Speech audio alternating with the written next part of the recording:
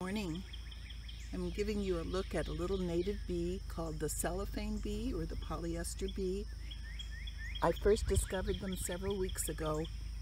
They were all over this golden dandelion patch.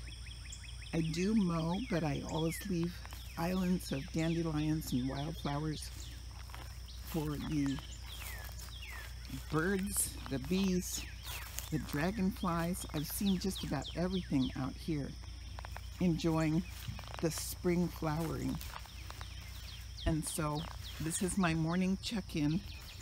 This is Lori. I'm class of 2014 out here near Bellville.